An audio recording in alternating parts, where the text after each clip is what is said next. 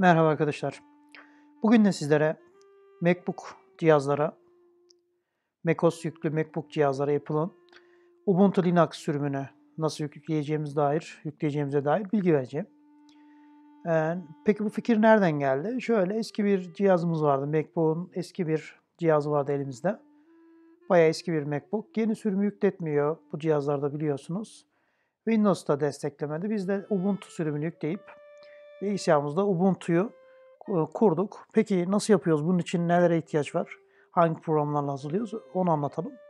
Öncelikle sizlere bir flash bellek lazım değerli arkadaşlar. Bir en az 8 GB boyutunda boş bir flash bellek lazım. Ben size macOS tarafından hazırlanma sürecini anlatıyorum. Videonun ilerleyen kısmında Windows tarafında nasıl yapacağınızı ayrıca anlatacağım. Şimdi macOS'tayız. E, USB belleğimizi bilgisayarımıza takıyoruz. USB'mizdeki bilgilerimizi yedeklememiz lazım çünkü her şey silinecek. USB'yi taktıktan sonra disk izlencesi, uygulamalardan disk izlencesini açıp şu USB'mizi sil deyip macOS genişletilmiş olarak silmemiz gerekiyor. Daha sonra flaşımız boş ve takılı halde cihazımızda bekliyor. Ardından bizim iki şeye ihtiyacımız var. Birincisi bu indireceğimiz Ubuntu ISO dosyasını bir flaşa atma programı. O da bu. Balena Etcher diye bir program var. Belen Etcher diye de okunuyor. Artık nasıl okuyorsanız. Bizim ihtiyacımız olan yazdırma programımız bu. Bu USB hazırlama programımız ayrıca. USB hazırlama programımızı indiriyoruz ve kuruyoruz. Ben indirip kurdum. Şu anda hazır.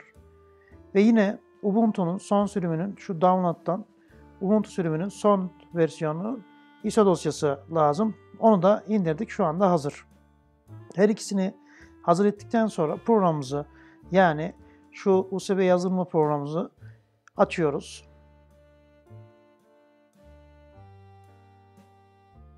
USB yazdırma programımızı açtık. Bakın şu bizim indirdiğimiz programın kurulumuydu. Kurduk biz.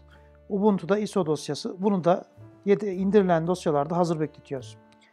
İlk olarak Flash from File diyoruz. Flash from File'a tıkladığımızda indirmiş olduğumuz ISO dosyasını şu Ubuntu onu programa bir gösteriyoruz. Daha sonra Select Target dediği şu bizim flash belleğimiz. Onu seçiyoruz. Select dedikten sonra flash'ımız hazır. ISO dosyamız hazır. Programda her ikisini seçtik. Flash dediğimiz anda bu flash'ımız bir MacBook bilgisayarda boot edecek şekilde Ubuntu kurulumuna hazır hale geliyor. Ubuntu kurulumunun USB'ye macOS'taki Ubuntu kurulumunun USB'ye hazırlanma kısmı bu şekilde değerli arkadaşlarım.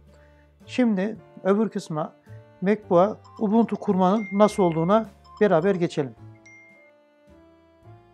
Bu USB hazırlama olayını Windows bir makinede yapmak istiyorsanız yine aynı şekilde Windows yüklü makinede yine Ubuntu Download'dan ISO dosyasını indirdiniz. Kullanacağınız macOS'a göre program şu, Rufus isimli bir program. Bu USB hazırlama programı şu indirmiş olduğunuz Ubuntu ISO'sunu bir flash belleğe yazdırmaya e, yarıyor. Buradaki programın görüntüsü bu. Az önceki gibi. Buradan flash belleğinizi gösteriyorsunuz. Hangisi ise tabi boş olacak. Önemli bilgileriniz varsa yedekleyin. Buradan Select'ten indirdiğiniz Ubuntu'yu seçiyorsunuz. Buradan UEFI'yi seçin. Partition şemadan. UEFI zaten otomatik seçili gelecek sizde. Start dediğinizde USB Windows tarafından bir USB Ubuntu USB'si, kurulum USB'si hazır hale gelmiş oluyor değerli arkadaşlar. Şimdi USB'mizi, flaşımızı taktık bilgisayarımıza, macOS bilgisayarımıza.